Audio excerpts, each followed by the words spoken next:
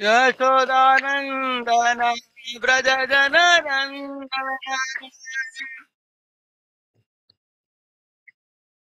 यमुनतिरावनचारि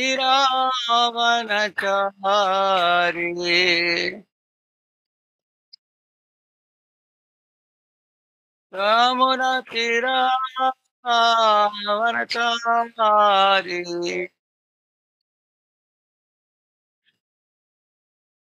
राधा माधव सुंदर हरि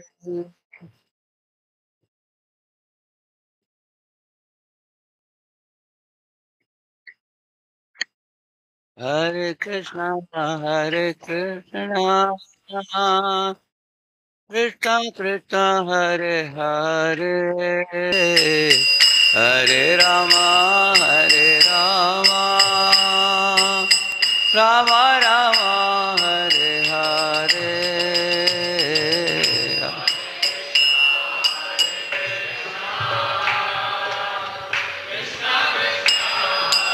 हरे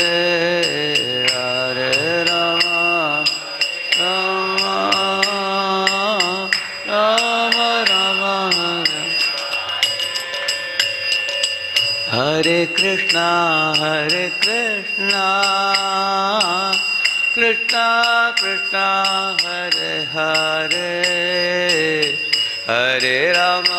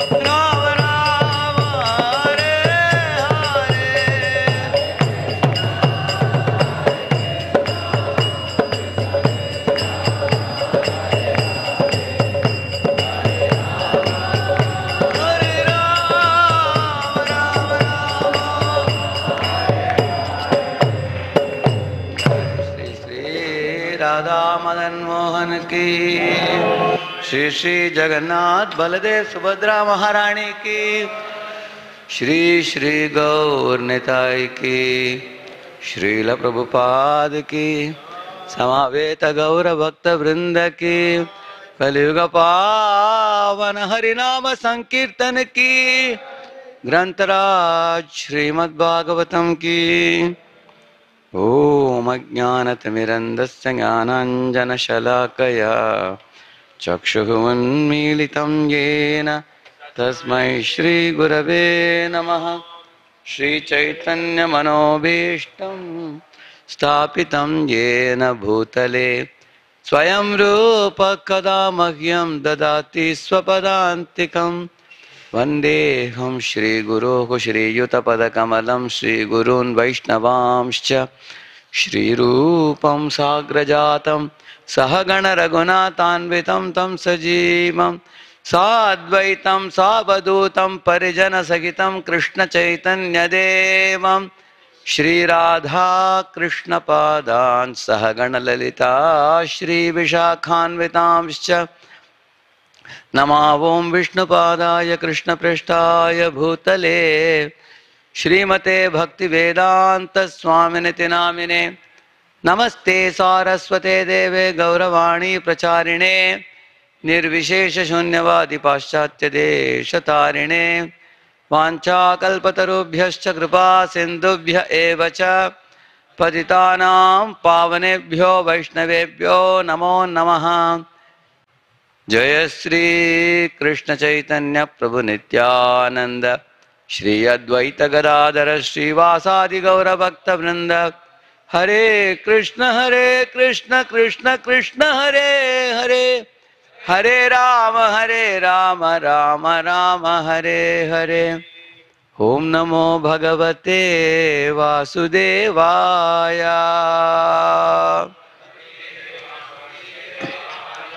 ॐ नमो भगवते वासुदेवाय।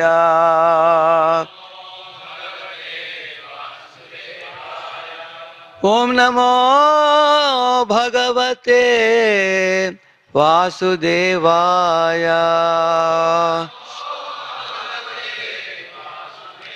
नारायणं नमस्कृत्य नरं चैव नरोत्तमं। देवीं सरस्वतीं व्यासं ततो जयमुदीरये। नष्टप्रायेष्वभद्रेषु नित्यं भागवतसेवया।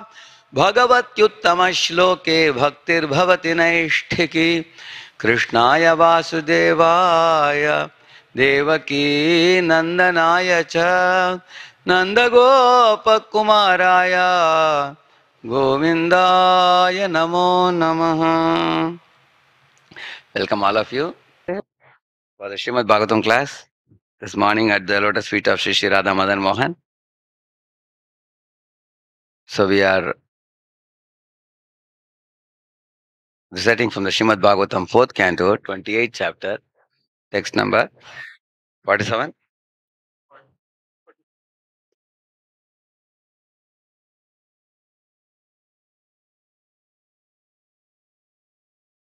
Is it 41?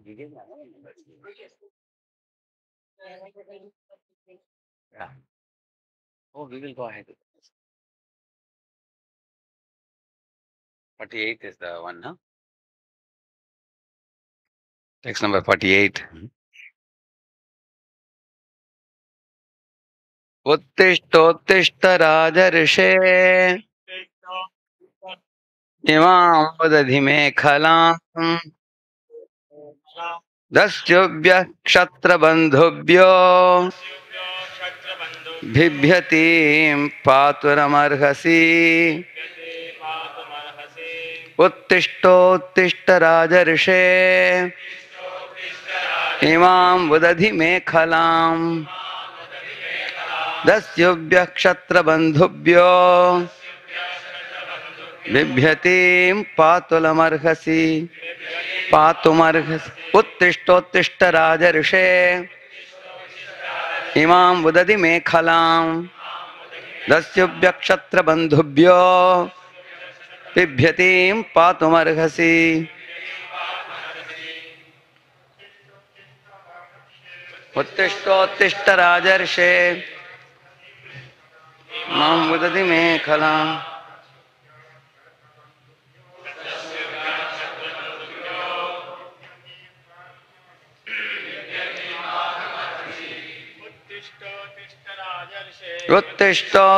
राजर्षे।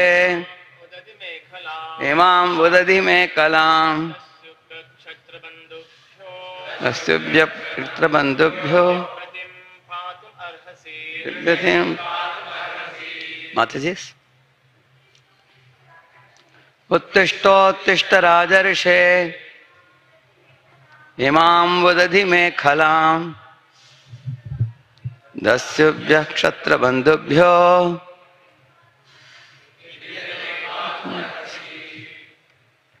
उत्तिष्ठ प्लीज़ गेट अप उत्तिष्ठ प्लीज़ गेट अप राजर्षे O saintly king, Imam, this earth, Udadhi, by the ocean, may Khalam, surrounded, Dasyubhyaha, from the rogues, Kshatrabandubhyaha, from the unclean kings, Bibhyatim, very much afraid, Patum, to protect, Arhasi, you ought.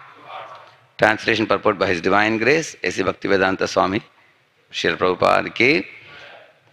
O best of kings, please get up, get up. Just see this world surrounded by water and infested with rogues and so-called kings. This world is very much afraid and it is your duty to protect her. So, this is uh, spoken by uh, Vaidarbhi to Malayadhvaja, right now? So you all can repeat after me. O oh, best of kings, please get up. Get up.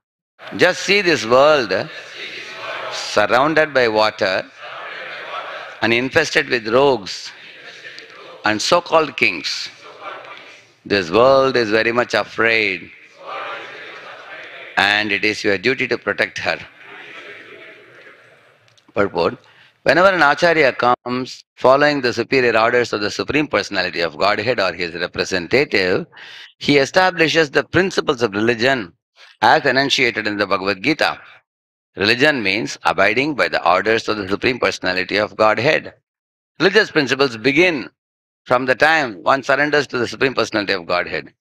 It is the Acharya's duty to spread a bona fide religious system and induce everyone to bow down before the Supreme Lord. One executes the religious principles by rendering devotional service, specifically the nine items like hearing, chanting, and remembering. Unfortunately, when the Acharya disappears, uh, the rogues and uh, non devotees take advantage and immediately begin to introduce unauthorized principles in the name of so called Swamis, yogis, philanthropists, welfare workers, and so on.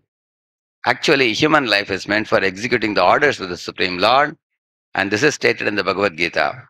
Manmana bhava madbhakto madhyajimam namaskuru mame vaishyasi yukpaivam atmanam matparayanaha.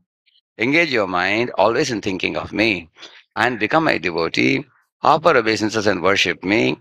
Being completely absorbed in me, surely you will come to me. Lord Krishna says this in the Bhagavad Gita 9.34 verse. The main business of human society is to think of the Supreme Personality of Godhead at all times, to become His devotees, to worship the Supreme Lord, and to bow down, bow down before Him. The Acharya, the authorized representative of the Supreme Lord, establishes these principles. But when he disappears, things once again become disordered.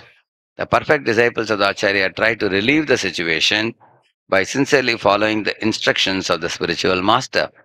At the present moment, practically the entire world is afraid of rogues and non devotees. Therefore, this Krishna consciousness movement is started to save the world from irreligious principles. Everyone should cooperate with this movement in order to bring about actual peace and happiness in the world.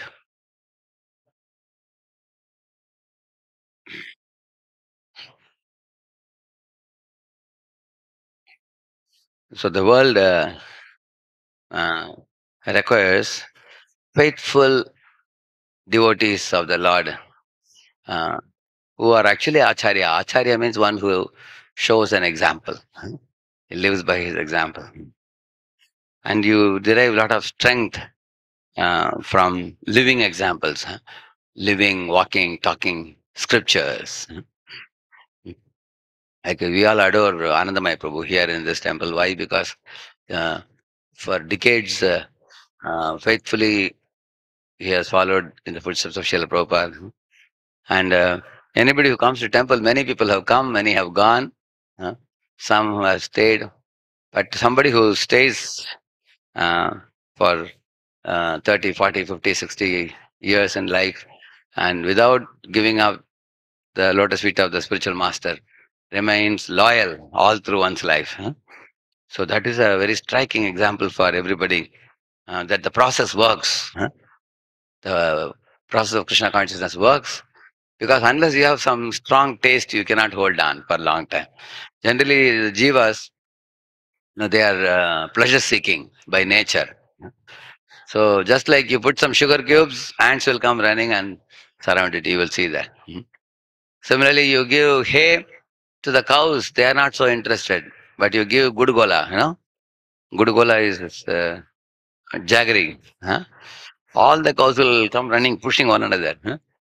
You can easily see that in this world, uh, we all are attracted to something.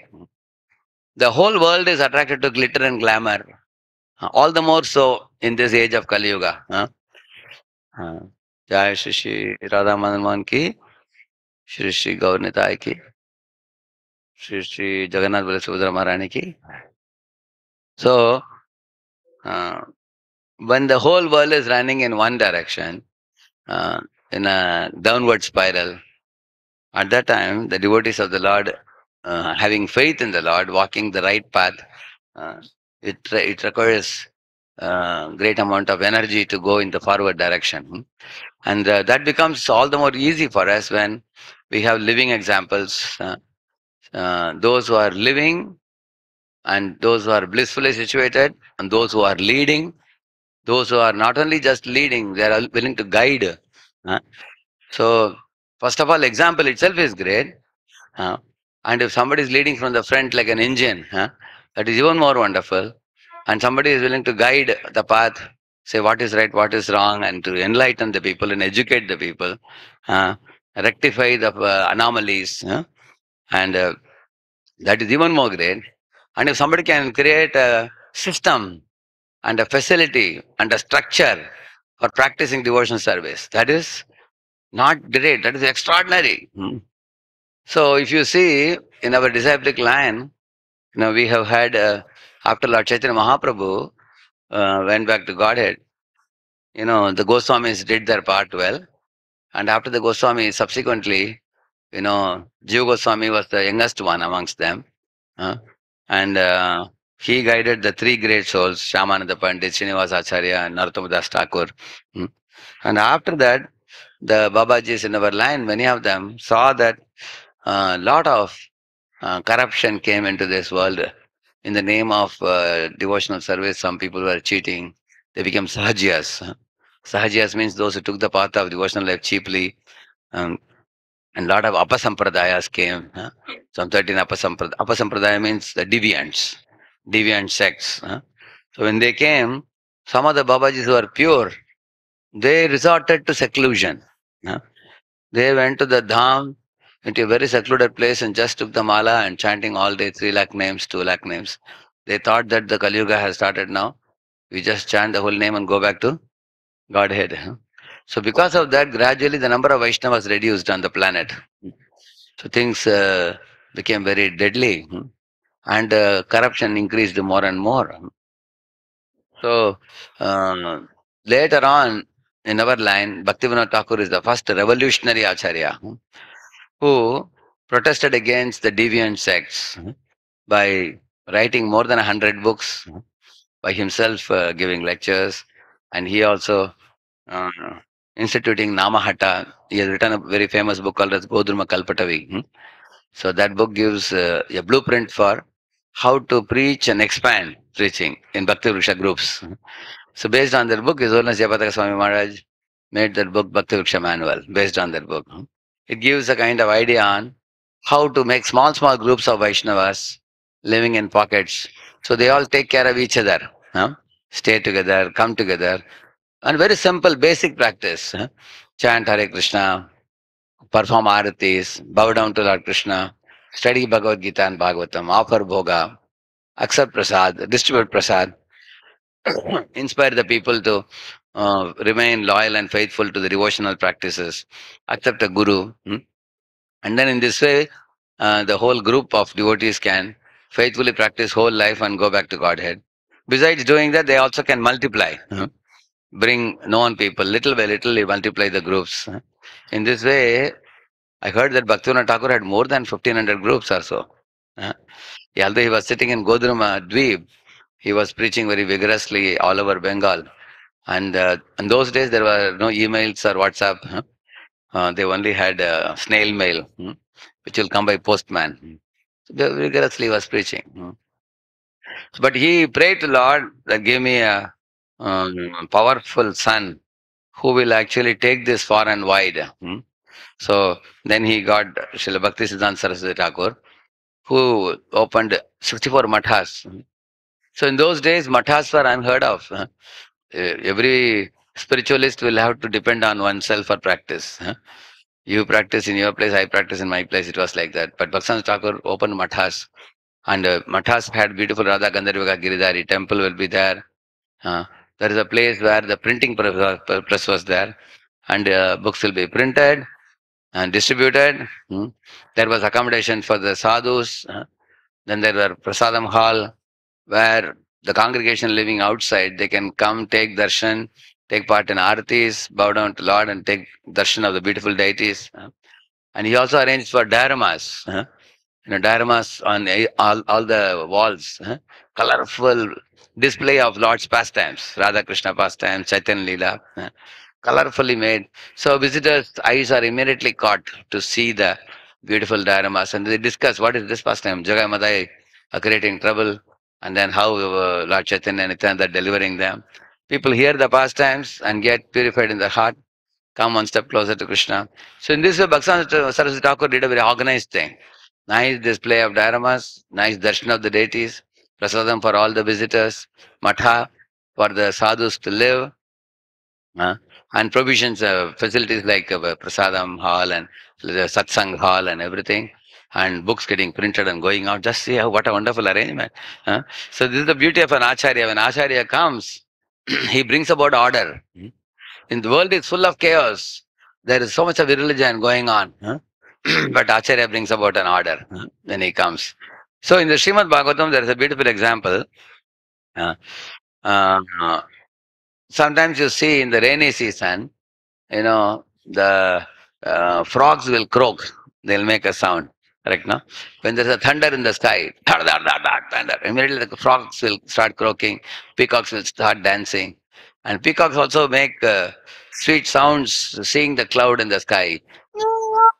Like that they make sounds. huh? So in- to express their delight. hmm.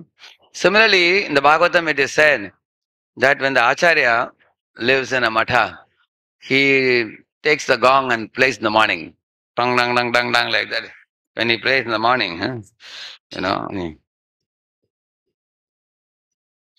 immediately all the disciples will jump up from their bed. huh? And immediately they go for a bath. hmm? And then they get ready and wear tilak in 12 parts of their body and come to the temple hall and bow down in front of the Acharya and then in front of the deities. And the Acharya in- inspires them to recite the Vedic mantras and shlokas and everything. So the brahmacharis and the celibates living in the temple matha, they are inspired by a living example of an Acharya. hmm? He himself sets an example. So this example is given in the Bhagavatam. In those days, there were lakhs of Gurukul in India. huh? Several lakhs of Gurukul. In each of the Gurukul, there was a Guru, Acharya, and then the disciples staying together. So these people were purified by spiritual practice and they were enlightened in the Vedic literature. And then they would uh, set out in the society to uh, have a deeper penetration going to the homes and become Purohit. Purohit means benefit the householders. huh? Or they would become Brahmins or they would become Pracharakas. huh? In this way, they would uh, reach the knowledge to the people. And the whole society lived a value based life know, of character, morality, ethics, and spirituality. Hmm. So the whole society was very calm, cool, collected, peaceful, satisfied, grateful, humble. huh. Everything was very nice. So uh, Acharya is one who not only has disciples who follow him, Acharya produces many Acharyas. huh. He produces many, many great Acharyas. That's what Bhakti Siddhanta Thakur, when he did this, he established 64 matas in India.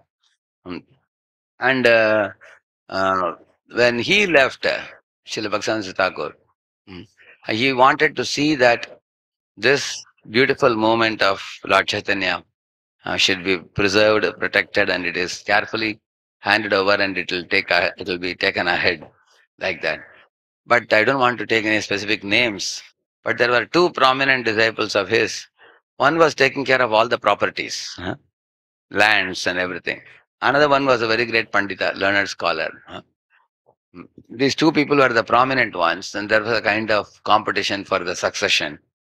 Who will be accepted as the successor of Bhakti Siddhanta Thakur? huh. And then naturally they formed groups, and there was a cleavage in relationships, offenses flying back and forth. Result was mm, all the 64 matas were taken by different different disciples who are running it individually. And uh, Srila Bhakti Siddhanta Thakur had said that in the material world, transmitting spiritual wisdom is not an ordinary thing. There has to be a very organized approach. Just like if you put a bundle of sticks together and tie it, you cannot break it. hmm. But if the sticks become separated, anybody can easily break it. So Srila Bhaktivinoda Thakur had told them that you, you all should stay united and then form a GBC. GBC is governing body commissioners. hmm. Make a GBC. uh, and the GBC leadership should be accepted by all. And then they will come together and frame policies and everything. Everybody else will follow, and all the matas have to be united. That was his plan. But then soon after his uh, departure, uh, there was a cleavage, and uh, uh, and therefore, although the six matas were led by different people, uh, eventually they became weakened because of becoming separated. Hmm. So, uh, like you might have heard the story of how once there were four cows which are good friends, huh? but a lion wanted to eat them. But whenever the lion went to them, all the cows with their big horns would do like this, and lion would run away, huh? because they were united. Huh? So when you are united, you can drive away Maya very easily. Mhm. But then lion made a, I mean, lion hatched a plot. So he went to one one cow individually and they put something in the ears. Huh? And all the cows became angry with each other. So they went in four different directions. huh. At that time, lion found that it is easy now. They all have become singled out now. So this is a trick of Maya that she singles you out and slaughters you. huh. That's what the lions did. So if there is a quarrel amongst devotees, that's the greatest curse in Kali Yuga. Because the very meaning of the word Kali means quarrel. As soon as we quarrel with devotees, we bring the ego, our false ego, and have tussle with devotees. huh. And then you find fault with someone and they find fault with you, and there is a cleavage between the two. That means Kali is in uh, action. huh. Kali's job is what? To separate the devotees and make uh, the devotees vulnerable to Maya. huh. And they can be knocked off very easily. And that started happening. and uh, our Srila Prabhupada, Bhakti Vedanta Swami Prabhupada, you know, he was at the time a householder in his Purvashrama. huh, and uh, he used to come to the matha and he would sing very sweetly and uh, he also would talk very eloquently. But because he was a grihastha, he won't sit on the Vyasasana. He would put one sannyasi in the Vyasasana and who may not be able to speak so much, but he would sit uh, down and then he would give lecture. huh, Because sannyasi would tell him, you speak. huh. So Prabhupada sang Kirtan also and he spoke also. He was a businessman. Later on, after his sons grew up at the right age, after 50, Prabhupada took Vanaprastha uh, and went to Delhi and Vrindavan. So he would be shuttling between Vrindavan and Delhi, making this Back to Godhead magazines. He worked very hard. Huh? He would personally purchase paper from the market and you know, he would be carrying on the head. He would go and give it to the printing press huh? and get the magazines printed. He would go to the tea shops and selling the magazines. And nobody would buy. Many people would be lazy to buy and why to spend money? People are not ready. So then Prabhupada wrote an article, No Time, Disease of Kali Yuga. he wrote an article on that. And somebody told uh, uh, Prabhupada, you, are preaching all these things. Look at these crazy fellows. Then Prabhupada asked, Who is crazy? And he wrote article. Any comments you will hear, he'll make new article. Huh? In line with Shastra. And even he would distribute like that. He worked very hard. Uh, sometimes he would be struggling to reach out to people. Wherever there was opportunity, platform for him to speak, huh? he would uh, go and speak about Bhagavad Gita, about Shrimad Bhagavatam, Krishna consciousness. He wanted to wake up everybody in Kali Yuga. It was a big struggle during his days in Vrindavan and in Jhansi. Huh? So he endeavored hard. Huh? And later on, on the order of his guru, you know, he had taken sannyas and then he went to the West and rest is history. You know how what a miracle happened. So Prabhupada, following in the footsteps of his guru, also brought about a great order.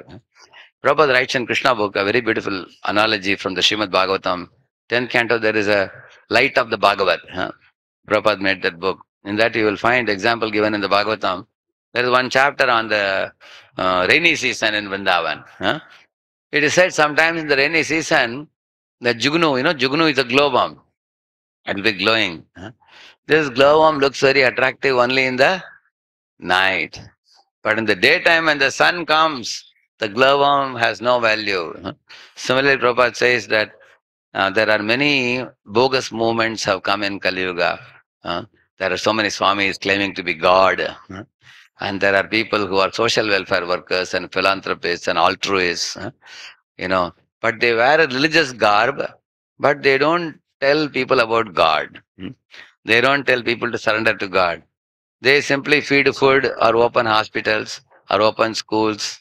And uh, they say that we have done this much service, we must, social service we have done, but they don't actually tell one word about God to people.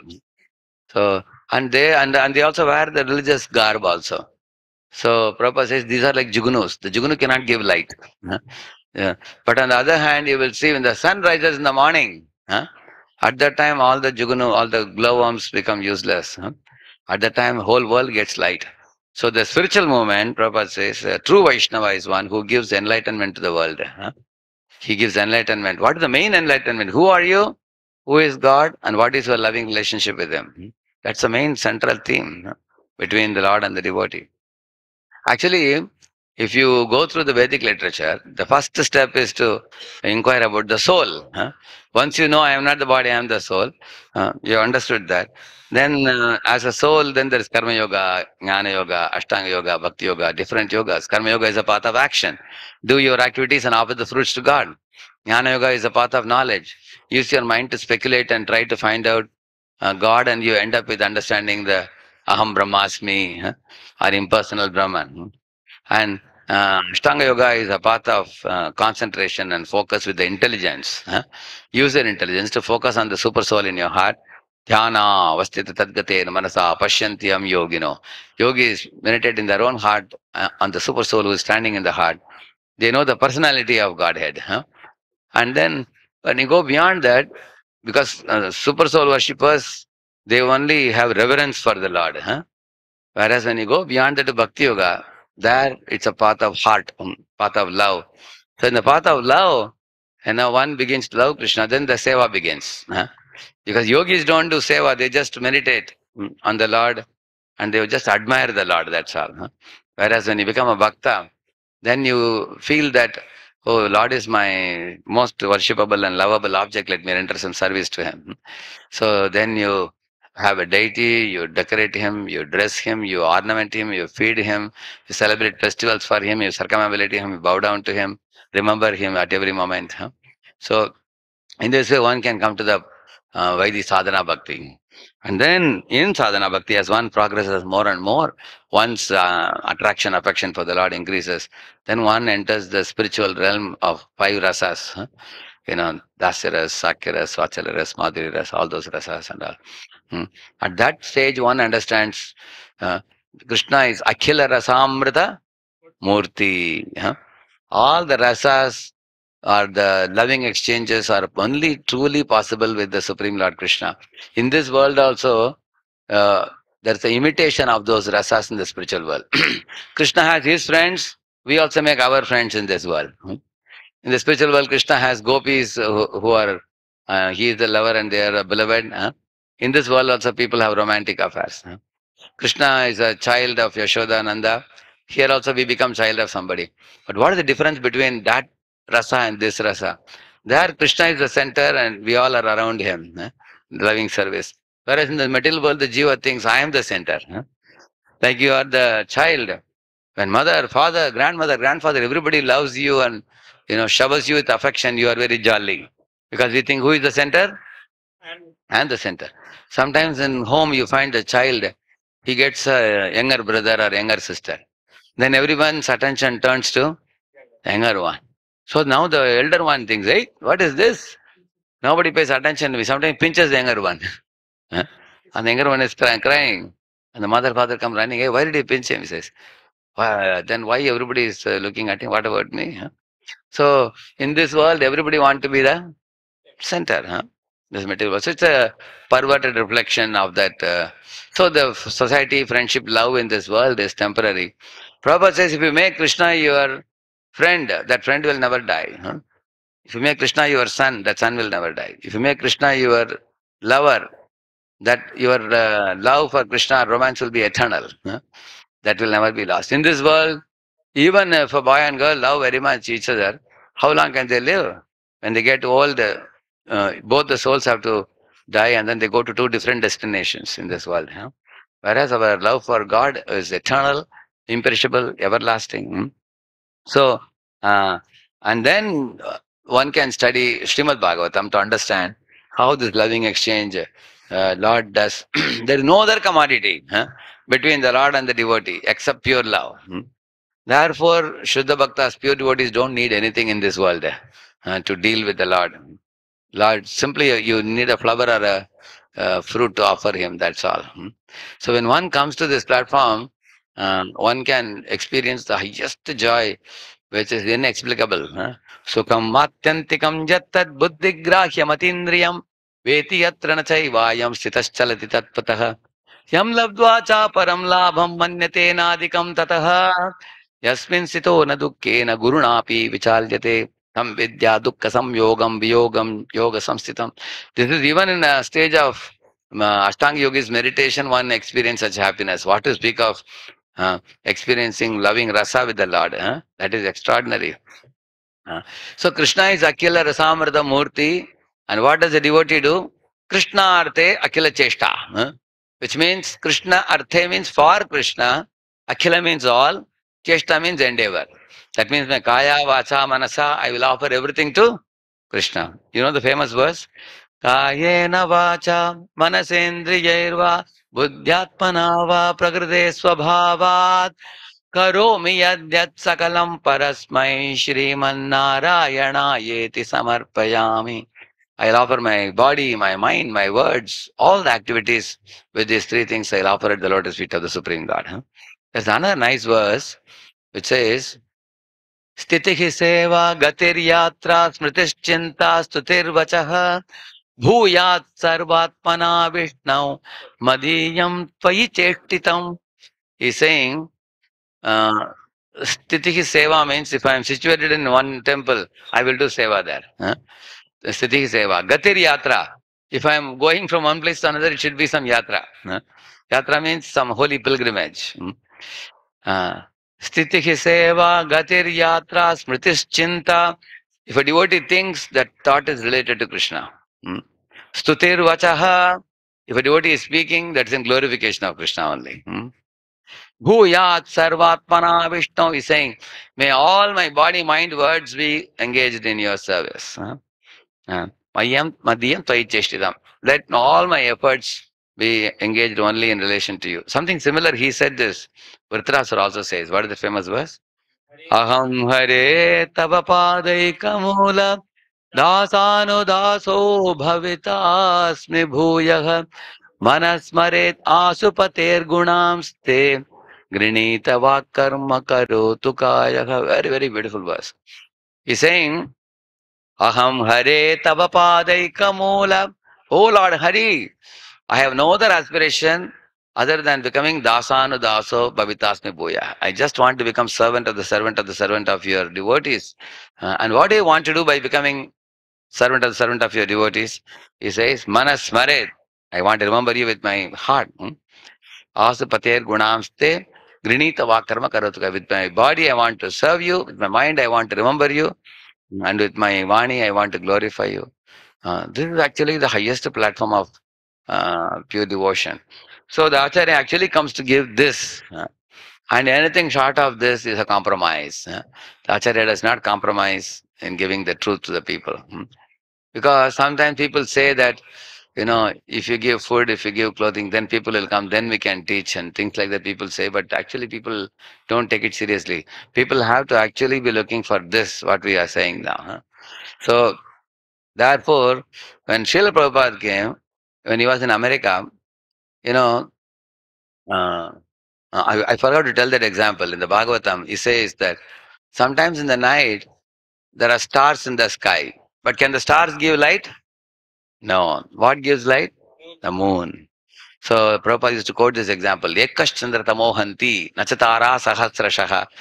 So when Prabhupada started the movement in America, somebody told him, Swamiji, it's better that you learn to wear pant shirt.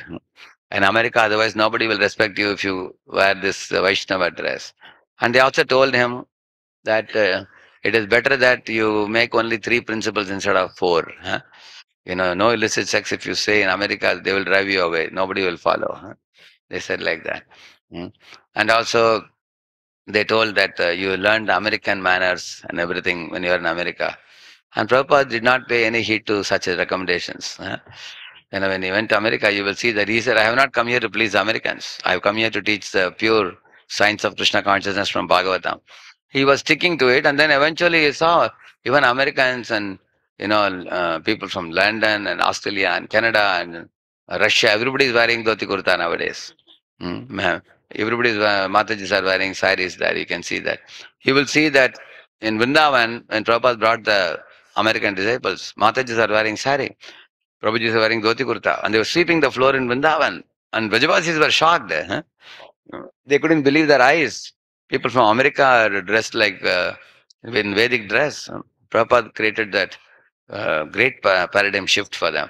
Same with uh, pure prasadam, mm, Indian cuisine. Prasad Prabhupada made it so attractive. Now in America, the cooking classes attracts in many universities 400, 500 students for learning Indian cuisine cooking. huh? Yeah. So Prabhupada said Indians are the fellows who know the best all varieties of prasad. Nowhere in the world you will get this kind of variety, huh? in the Vedic variety. So even now in Columbus, if you go to Ohio State University, I go for a program every time I go.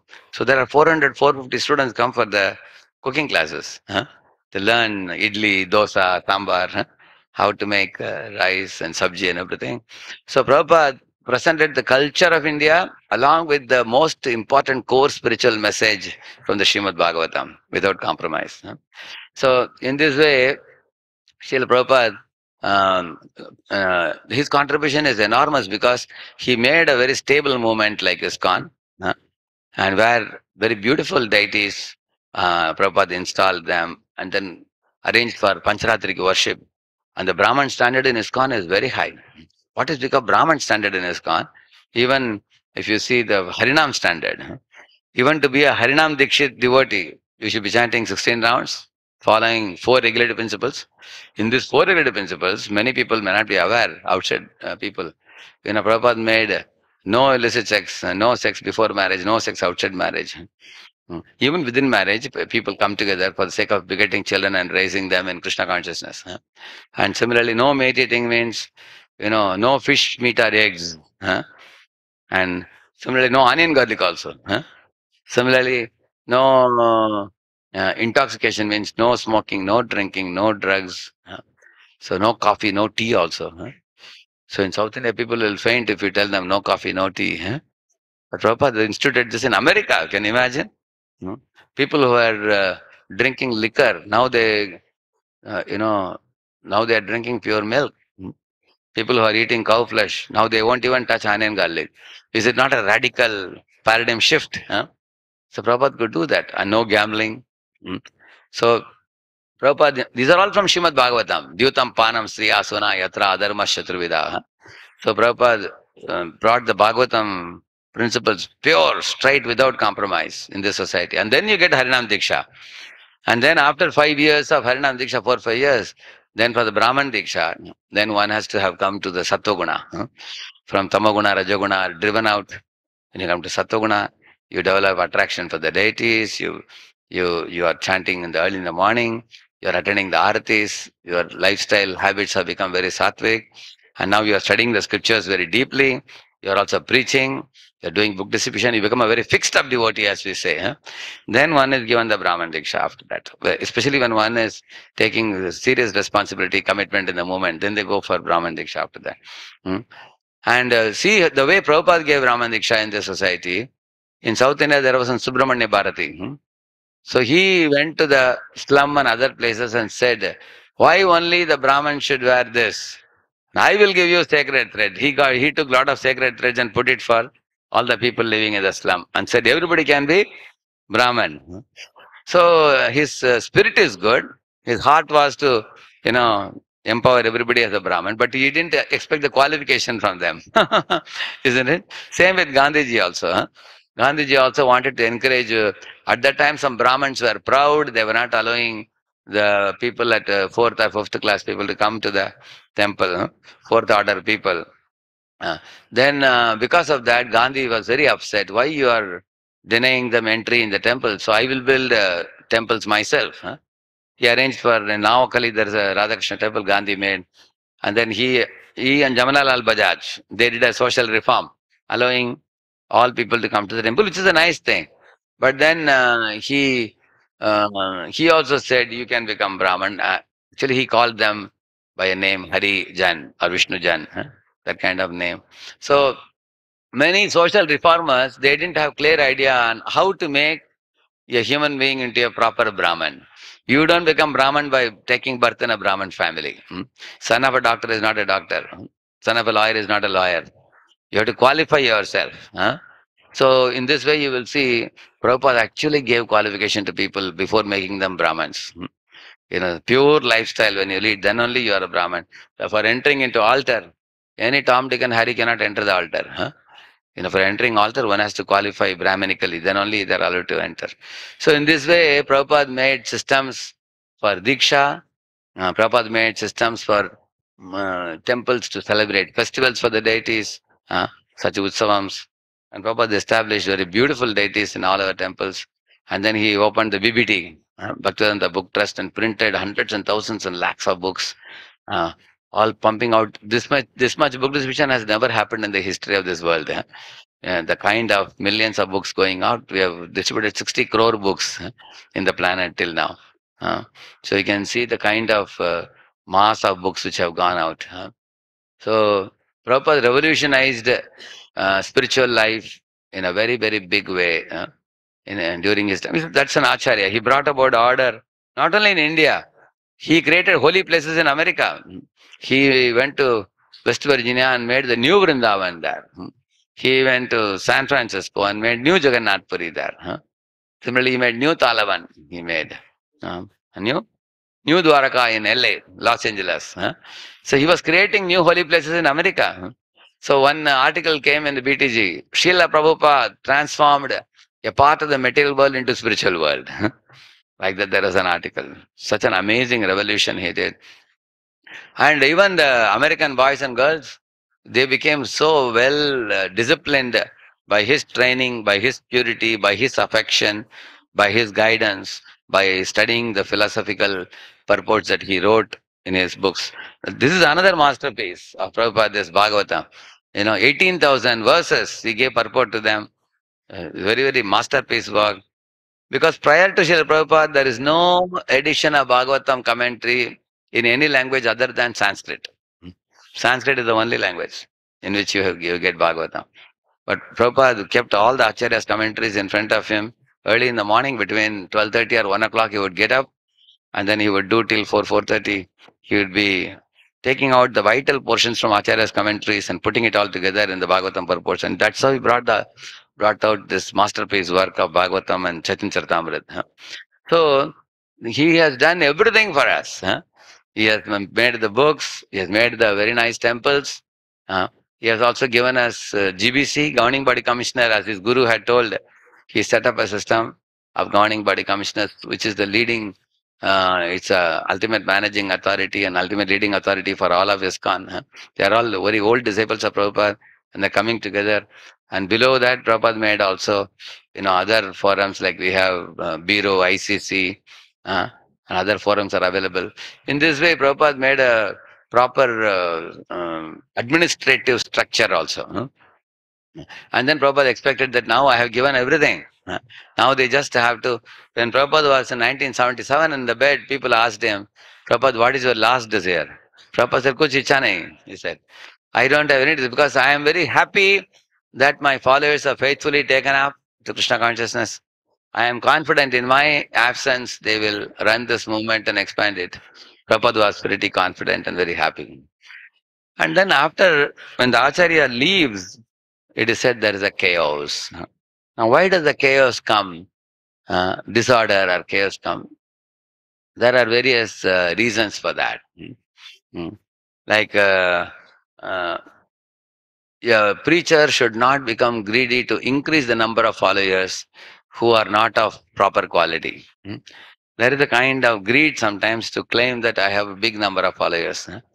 But then, if you get followers who are not properly, faithfully following, then the reaction for their sinful actions will come upon us also. So one has to be very careful in increasing followers. There has to be some uh, standards set uh, which everybody should follow. But uh, sometimes our movement expanded very rapidly in many places. And then because of people, unscrupulous people coming with motivations, material motives, when they sneak into society, huh, then that can cause, uh, they can cause havoc in the society. Mm. And also there are people who, uh, after Prabhupada left the planet, uh, went back to Godhead, then they did not study his purports very carefully. The attention went away from uh, deepening one's Shastric understanding. Uh, from that, attention went to bringing money, you know, running the temples and uh, creating facilities and uh, making uh, life more comfortable. So this is this is therefore one should understand the difference between structure and substance. So temple is a structure and the substance is hearing and chanting. So without the substance, a temple is simply an empty shell. It, it doesn't have any value. You will see in America, many of the churches and cathedrals, you know, they were actually having these pigeons passing stool, flying, and they were mostly locked up. huh? Only on Sunday they would open and a handful of people would come. When Prabhupada went, uh, many of these uh, padris, uh, fathers and brethren, they came to see Prabhupada's lecture. And they asked Prabhupada, Swamiji, you don't have any temple or church, and I am seeing in this uh, ordinary building you are living, and so many boys and young boys and girls are coming and thronging your place. How is it? So then, when they heard Prabhupada's speech, they understood that the Swamiji is genuine and he is presenting the philosophy very purely about God, what is God, what is uh, soul, and what is sin, and uh, what is to be done. So they themselves became very inspired. And then, and in, even today, when I travel in the West, I see some churches have been sold out uh, to become playgrounds uh, for uh, playing some games, uh, or some of them have been uh, converted into accommodations for, um, like they have converted them into rooms, and they're accommodating some people and making some money some places. And some churches have been sold, and ISKCON has purchased. Why ISKCON purchases churches ready-made in America? There is a reason for that. Because when they make a church in America, there are a lot of protocols, huh? strict, very stringent rules. Like, you know, the entrance should be like this, and garden should be like this, height should be this much, and, you know, inside also all the electric, electrification and, uh, you know, car park area and all that. There are hundreds of rules in America. But when uh, you have a ready-made church, you buy it and you pay them off, then all those rules are already followed by when they made the church. So you don't have to uh, reinvent the wheel again, second time. huh? So they buy a existing church and then they make it into a temple. ISKCON temple. ISKCON has purchased in many places like that. So because ISKCON has uh, a very, very vibrant activity to do, So many we could uh, you know, expand like that in many places. So uh, now it is not only with the churches, even with ISKCON also. If ISKCON temples become dull and there are there is not much activity there, uh, there is no young blood. Now people are not uh, getting up in the morning and enthusiastically taking part in spiritual activities. Uh, they are not going out on Sankirtan distributing Prabhupada's books, prasadam distribution, book distribution, Harinam Sankirtan, uh, and uh, regular classes in the temple, regular kirtans in the temple, and very lovingly the, the deities are not worshipped and cared for. Uh, without these things, the temple has no substance at all. So when Prabhupada left the world, after that, in some of the temples, you just make some three, four life members in a month, and then you got the money for running the temple that month. and then just you sit and eat and grow a big tummy, that's all. And uh, there's not much activity. And this, uh, I'm not only saying ISKCON, any organization for that matter, the organization loses its soul. huh? Like that. In India, in those days, one uh, Salvation Army, uh, one Christian group came to preach in India. So as they were preaching, they thought that if we provide material benefits to people, we can get a big number. So they started collecting uh, t-shirts, pant, and clothes from different people, and they would accumulate it in the church in big number. And they told the poor people, all of you come, we will distribute this clothes for you freely. Huh? So a lot of people started coming to the church. Eventually, when those leaders became old and passed away, now the successors who came, they thought the goal of Salvation Army is only to distribute the clothes, collect clothes and distribute clothes. That's the only activity that is prominent there. huh? There is no worship of God. There is no. So this is a problem. Many times in this world, people forget the spirit and they just stick on to the externals. It's like, for example, I ask you, one of you, uh, hey, can you please get me a Bisleri bottle? And you come and give me an empty Bisleri bottle. Roji, you want a Bisleri bottle? Here the Bisleri bottle. I see there is not no any water inside. So I may scold you, hey, I asked for water. Why are you bringing me an empty bottle? You may say, Prabhuji, you asked the Bisleri bottle. The bottle I brought. Hmm. It's a structure without substance. huh?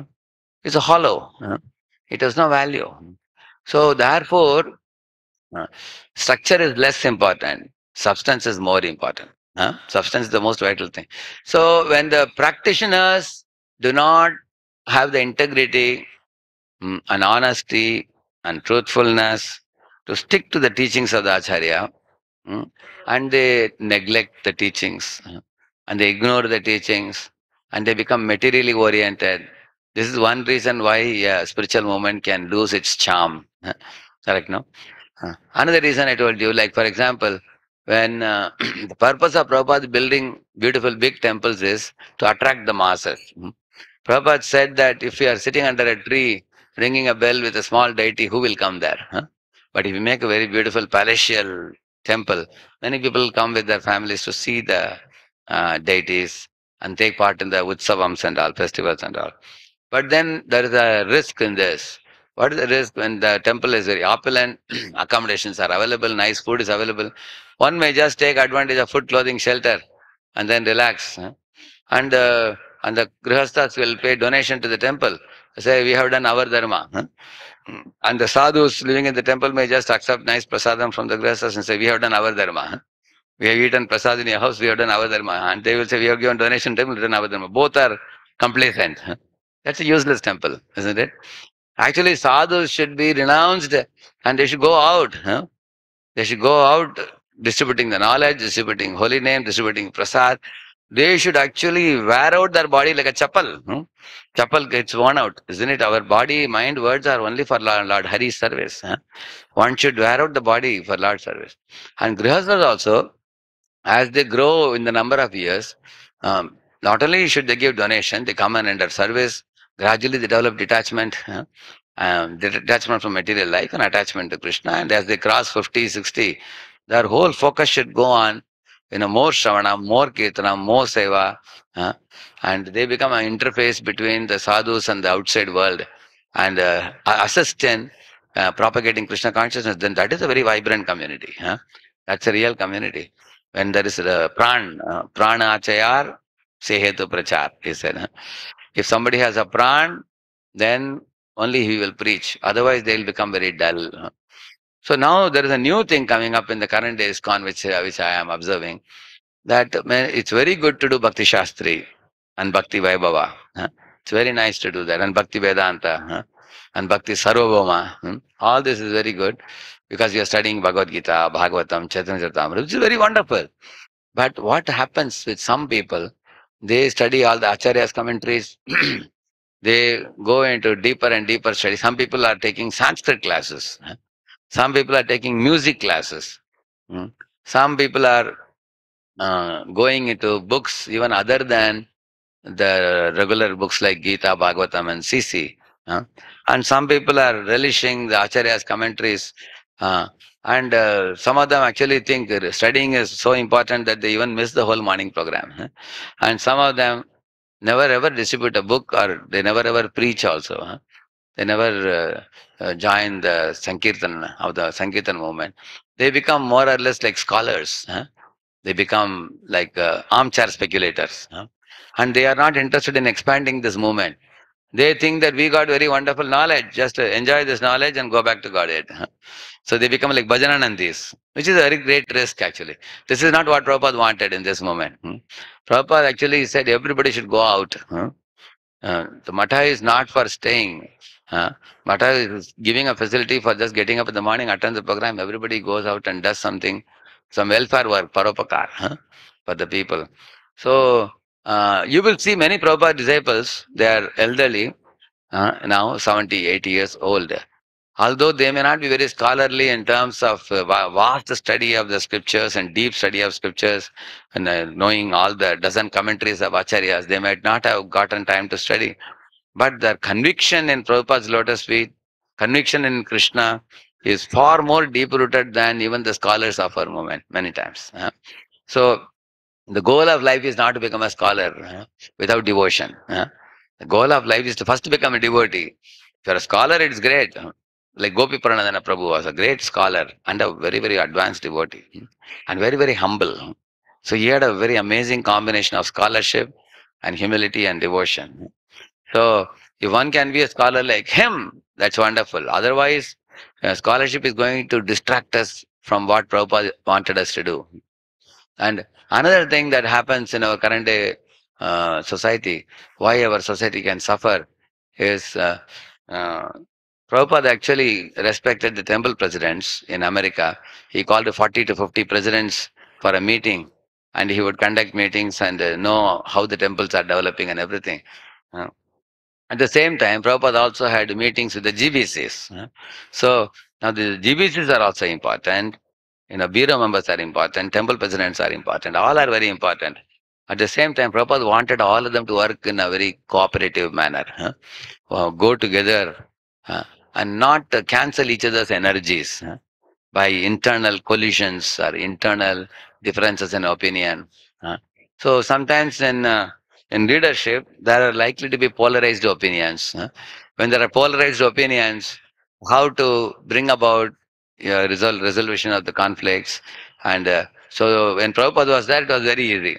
People would just go to him and ask, Prabhupada, he is saying this, I am saying this. What is it? Like somebody said, Prabhupada, he is saying Ram is Balaram. I am saying Ram is Raghupati Raghava Raja Ram. huh?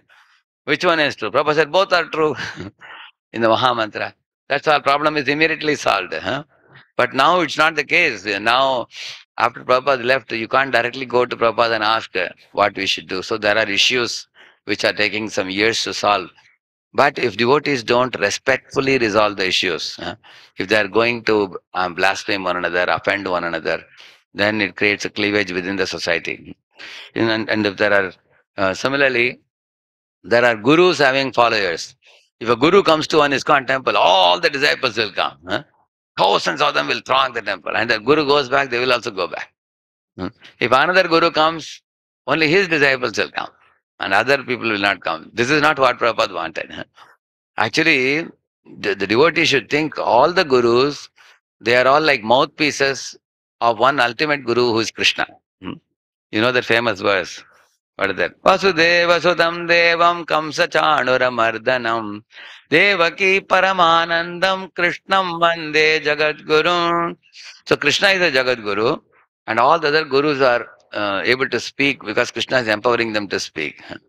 Same message what Krishna would want to give, they are all giving. Mm. So it's not that one stays, this is uh, my guru and all other gurus are not important. That is a neophyte behavior.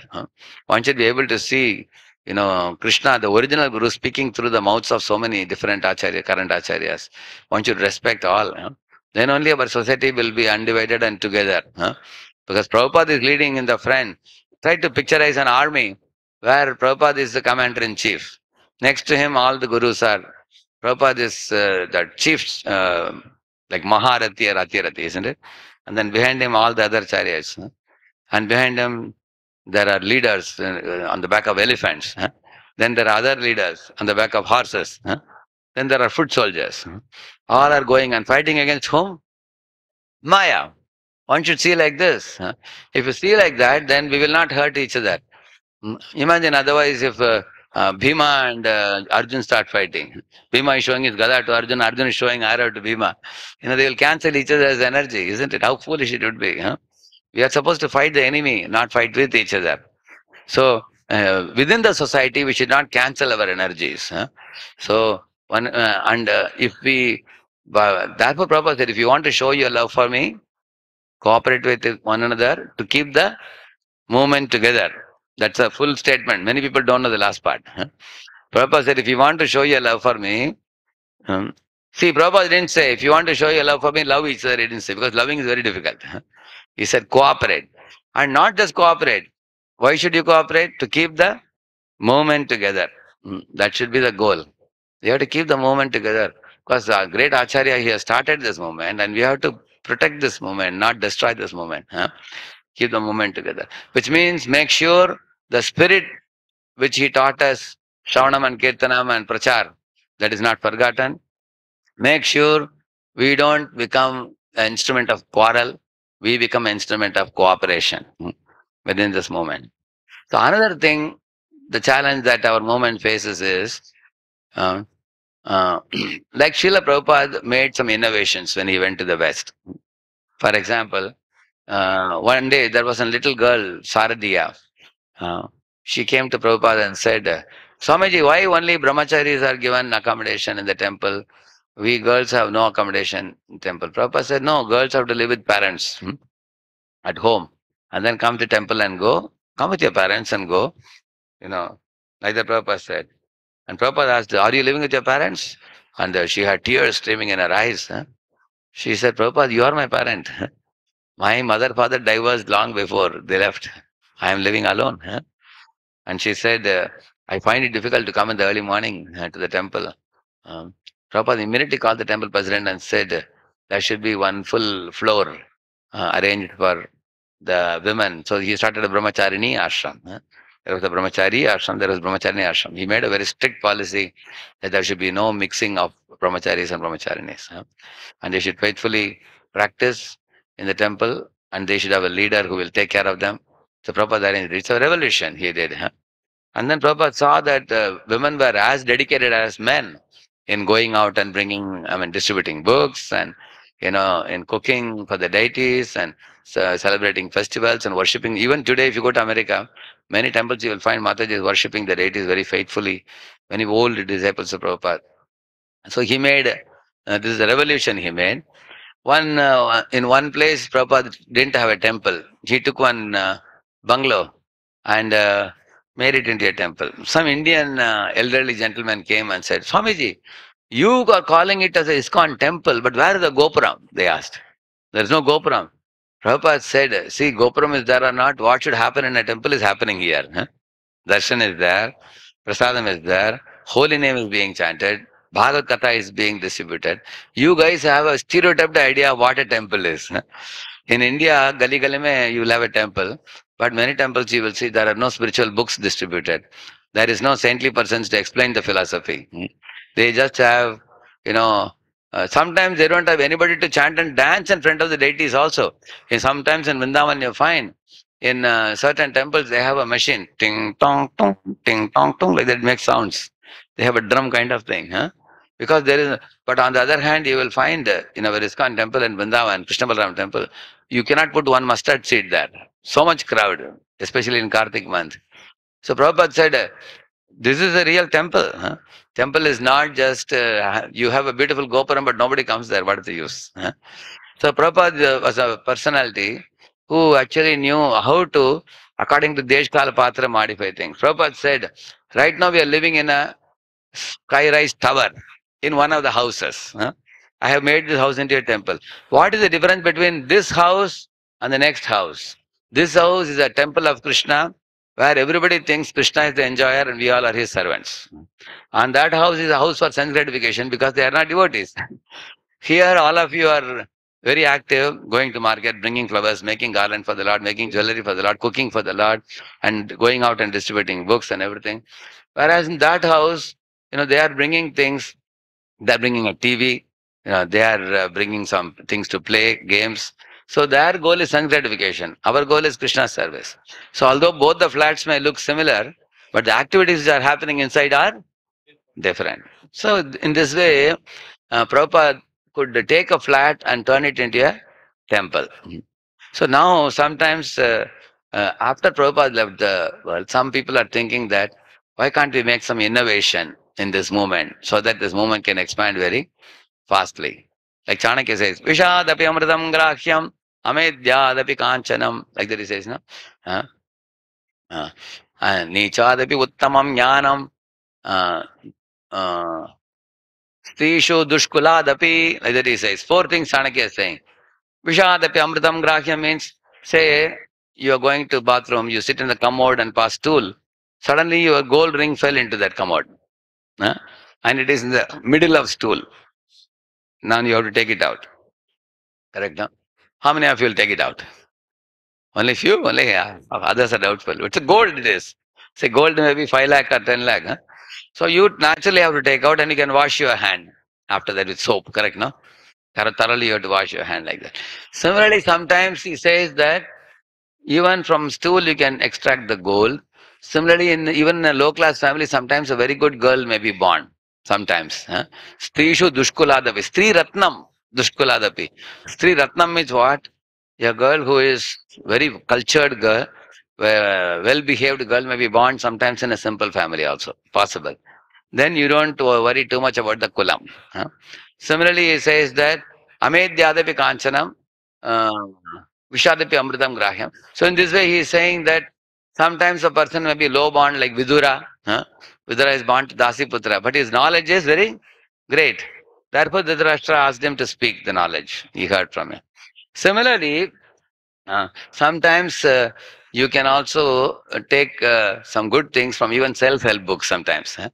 Like Prabhupada said, sometimes you can take idea from other organizations. Like Prabhupada said, you can take, uh, they, they are very good in organizing.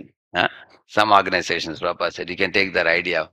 Uh, One idea you can pick up, something good they are doing. So even from Karmi sometimes, like Prabhupada quotes Dr. Radhakrishnan once, huh? because Dr. Radhakrishnan says, modern education is a big failure, like that Radhakrishnan says. It is not teaching values, morals. Prabhupada took that quote. So he will quote Radhakrishnan here and glorify Radhakrishnan's statement because he was the president of India. Another place when Radhakrishnan will say, Manmana Bhamad Bhakto, you know, instead of Krishna, you can meditate on something within Krishna, some impersonal Brahman. That Prabhupada will chastise. But the point is, if something is good, Prabhupada knew how to take it. Huh? Sometimes. And Prabhupada, uh, like uh, GBC, for example, where did uh, Bhaktisiddhanta Saraswati Thakur get the idea of GBC? From the railways. Indian Railways has a GBC system. Same thing. So he took that idea. So good things can be taken even from karmis if they have something valuable to offer. At the same time, in the name of innovation and creativity, if we bring about too many new things into this movement, huh, there is a likelihood that we may dilute the message. huh. Like uh, some people nowadays are teaching spoken English in ISKCON huh, to some people. Initially, they will teach some words, PUT, put, BUT, but they will start with that. And then they will tell them, now let's read Prabhupada books now. And then while reading, you learn Prabhupada books to read, learn English grammar, and you become a devotee, which is very good, correct, no? You can do that. Similarly, Prabhupada also started Sanskrit class in America. hmm. So one or two months he ran Sanskrit classes. Then he stopped the Sanskrit classes, only Hare Krishna class after that. It's a good idea, but sometimes, uh, you know, such ideas have to be very carefully employed. you may get lost otherwise. So one has to be very careful. So in the name of innovation, there are many nowadays people are doing so many things in innovation. So the innovation should not damage the original intended purpose by the acharya. Hmm. That's very important. Acharya's intention is to make purpose says preaching means giving faith in Krishna. Preaching means giving faith in the holy name. Preaching means transforming the hearts of the people from being atheistic to becoming a devotee of the Lord. So otherwise, if we don't give them the true substance of devotion, Shuddha Bhakti, you know, we will be depriving them of the original substance. We'll be cheating them. So in this way, innovation, creativity, these things one has to be uh, very attentive and careful. Otherwise, the movement can become diluted. So I said many things uh, in in my talk today about the when Acharya leaves, why chaos sets in. So to summarize, one of the things I said about the chaos coming is because the followers become materially attached. Uh, that's like Bagh Bazar temple hmm, when it was built. Prior to Bagh Bazar temple, Gaudiya Math was very small and simple. When big temples come and big facilities come, there is a likelihood that people become attached to the facilities huh, and not attached to the lotus feet of the Lord. huh. They are not attached to seva. One becomes attached to facilities and amenities. So that is one danger. hmm. And another thing I said was forgetting the spirit and holding on to the shell. huh. Like I told the Bisleri bottle example. Similarly, there are many churches, many temples, many uh, religious institutions where the structure is there, but the substance is forgotten by the people. What the Acharya wanted to hand over. Our substance is not only Shravanam Kirtanam. Prabhupada wanted Shravanam Kirtanam and also Jivadaya, Vaishnava Seva, missionary activities. So the mood and mission of the Acharya should not be forgotten. That was the second thing I said. Another thing I told was, uh, third, uh, another point I made was about the cleavage in uh, relationships between the leaders, causing, uh, cancelling each other's energy is a very, very bad thing, unfortunate thing. Prabhupada said there is no danger for this movement from outside, there is danger from inside. So dev- devotees should have uh, mutual respect, trust, and love. Huh? And they should not hurt one another and create a cleavage. We should remain together to keep the mission together. That was one thing we discussed. Another thing we discussed is about uh, quality and quantity. Huh? While preaching, Prabhupada said you should get moon-like devotees. Huh? Because moon can give light, not the stars. The Jugunu and stars, they cannot give light. So we don't want uh, people uh, who are uh, not interested in Krishna, but who come to this moment with ulterior motives to spoil the moment. Huh? We, we are looking for moons. And Prabhupada said, even if number is small, don't worry. Like in a diamond shop, you don't get a big crowd. But Sabji Mandi, you get a big crowd. huh? That doesn't mean Sabji is better than diamond. Huh? Isn't it? So similarly, we are uh, giving the costliest thing to the people, Krishna consciousness. So Prabhupada said, uh, uh, but eventually, uh, the moons will become many moons. huh? Because the moons will multiply also when you preach. When you get very good quality devotees, then they will also bring similar quality devotees uh, over a period of time. So we should stick to the pure quality and not dilute the message. Uh, That's one thing we discussed.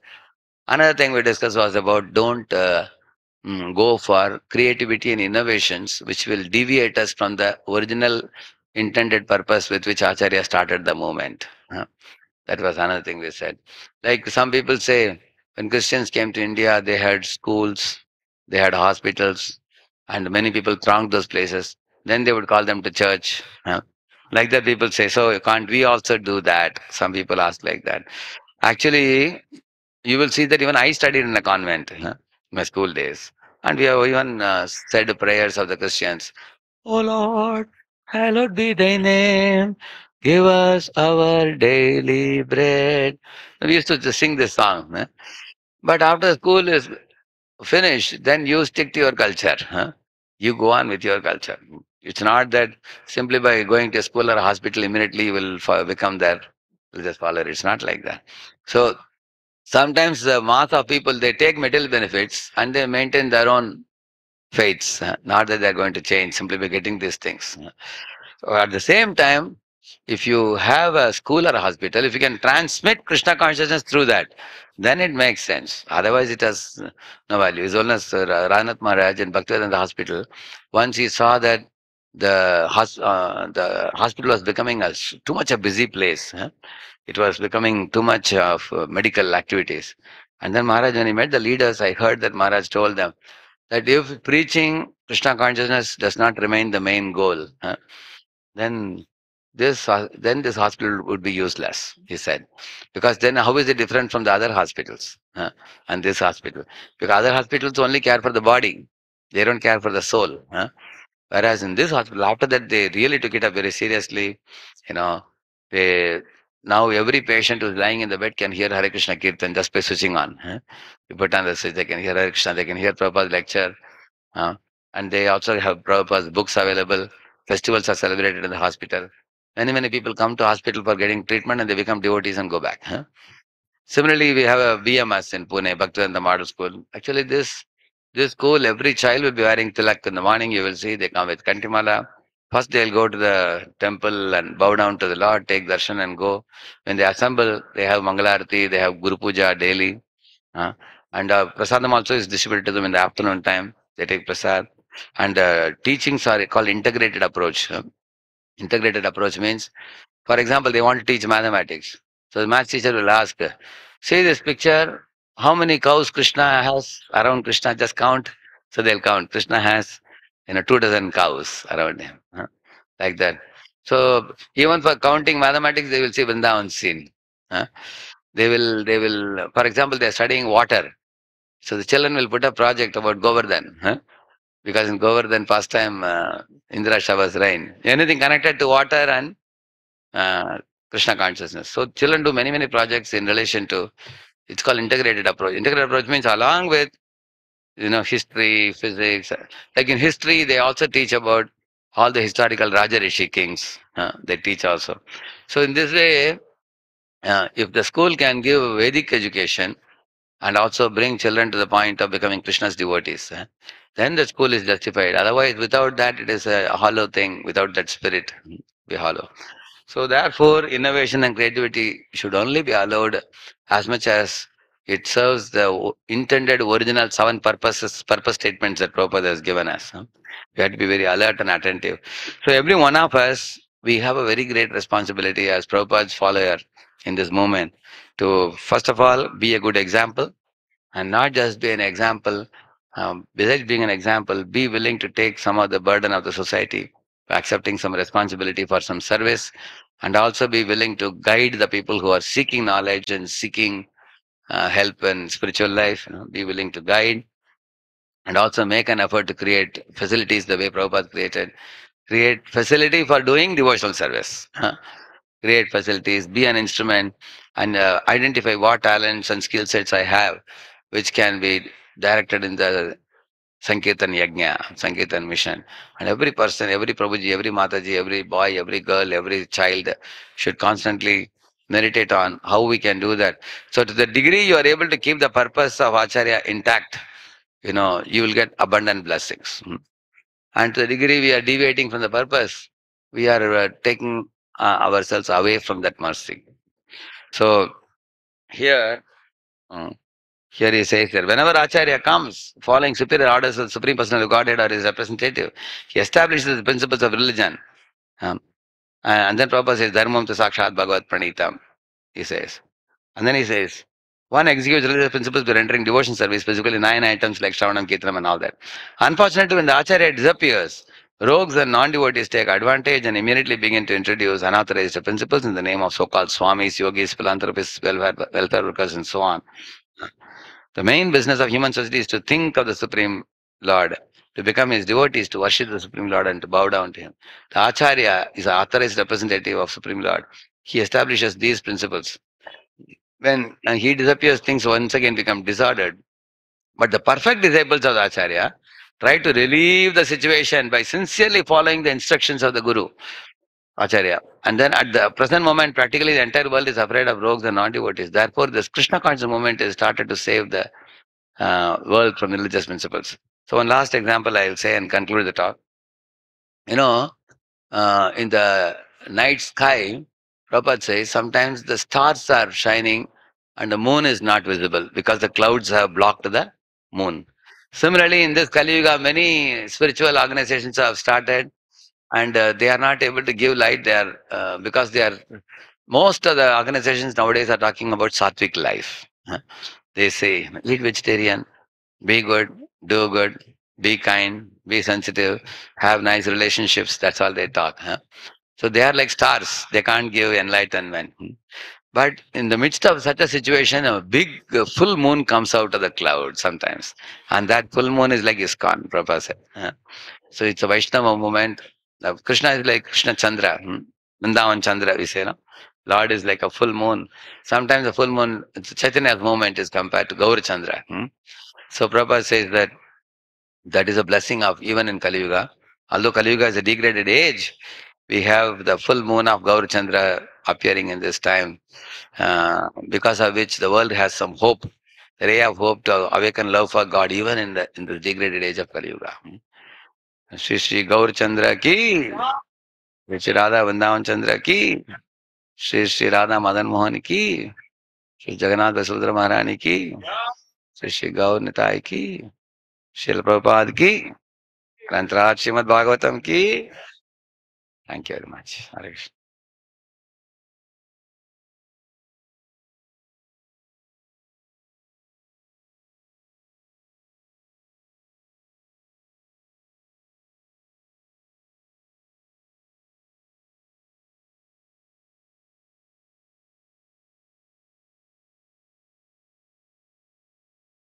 Navapushpasharam Navabhavadaram. You're going to show that? Oh, yeah. It'll remain, no? Like that, yeah. The kartas? Ah, here. नवगौरवरं नवपुष्पशरं नवभावधरं नवलास्यपरम्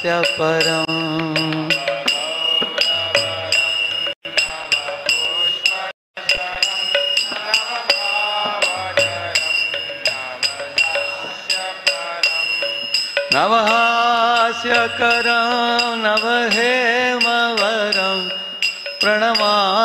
शचीसुतगौरवरम्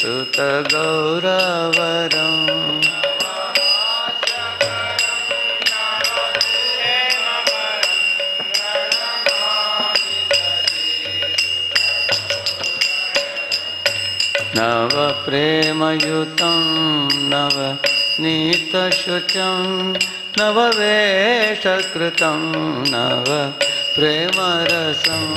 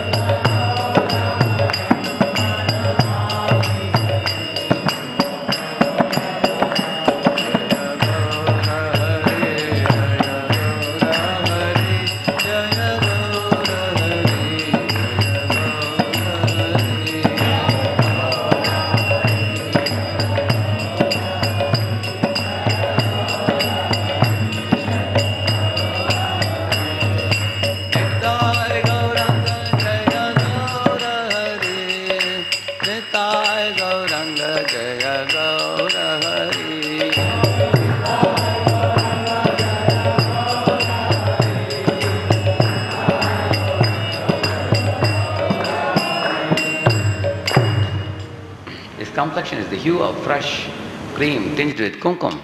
He is the ever fresh cupid who shoots arrows of newly blossoming flowers. He bears newer and newer moods of emotional ecstasies. He is fond of performing novel dances. He makes ever new jokes that cause much laughter. His brilliant luster is like freshly cast gold. I bow down to Gaura, the beautiful son of Mother Shachi. He is endowed with ever fresh love of Godhead.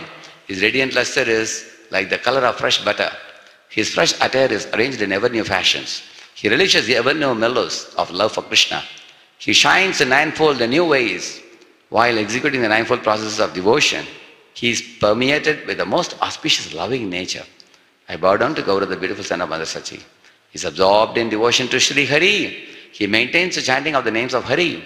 While chanting, he counts the holy names on the fingers in his hands. He is addicted to the name of Hari. He always has tears of love welling in his eyes. I bow down to Gaura, the beautiful son of Mother Sachi. Is always removing the suffering of material existence for mankind. He is the goal of life for persons who are dedicated to their supreme interest. He inspires men to become like honeybees, eager to eager for the honey of Krishna Prema. He removes the burning fever of the material world. I bow down to Gaura, the beautiful son of Mother Sachi. He who motivates pure devotion unto himself, who is most attractive to his beloved servitors. By his dramatic dancing, he exhibits the characteristics of the king of paramours. He causes the minds of the beautiful young village women to dance. I bow down to Gaura, the beautiful son of Mother Sachi.